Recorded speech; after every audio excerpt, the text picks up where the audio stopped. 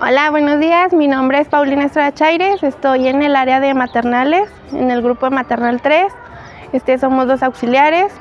Yo y mi compañera Aurora este, asistimos a la maestra Sol.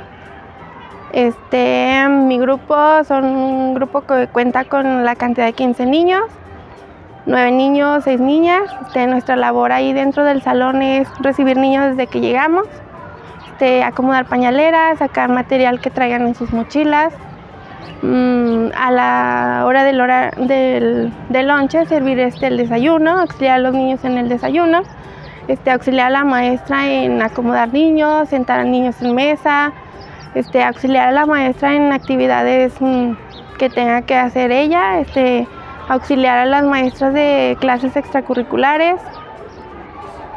A la hora de cambiar niños, este, todavía contamos con niños que hay que cambiar pañal, niños que tenemos que auxiliar a llevar al baño. Mm, después de hacer esas actividades pasamos a lo que es la, hora de la siesta.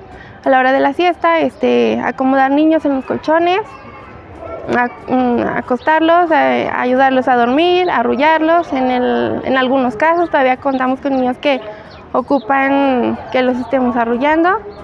Después de la siesta, este, Auxiliamos a la maestra en lo que es la hora de la comida, servir la comida, apoyar a los niños en que coman. Después de la hora de la comida, eh, nuestra función es este, acomodar a los niños, ya sea en su ropa, cambiarlos si algún niño va sucio, cambiarles pañales a los que todavía usan pañal, peinarlos, limpiar la cara y posteriormente pasar a entregar niños.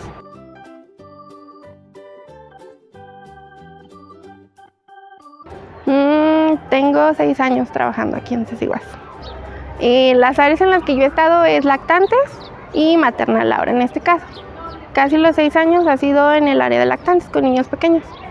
Yo creo que el auxiliar a las, bueno, auxiliar a las maestras durante todos los seis años que llevo, porque considero que es una responsabilidad muy grande el estar trabajando con niños, porque son niños muy, muy pequeños este, los cuales necesitan mucho nuestro apoyo para su crecimiento y desempeño dentro del CECIGUAS.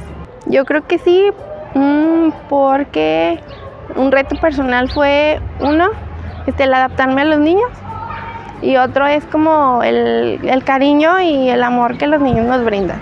Yo pienso que eso es como la satisfacción más grande. El topárnoslos en la calle, el topárnoslos aquí, ver que van creciendo, que van este, de maternales pasan a preescolar y los niños corren, te abrazan, maestra, maestra. O sea, yo pienso que eso es una de las satisfacciones más bonitas de aquí. Yo pienso que como institución este, cuenta con un nivel académico muy grande. Otra es que, por ejemplo, en todas las áreas, aparte de la maestra, cuentan con auxiliares, los cuales estamos como apoyo para ellas que creo yo que en otras instituciones no cuentan. De otra es que contamos con muchas capacitaciones, las cuales nos acreditan para trabajar dentro de CECIGUAS.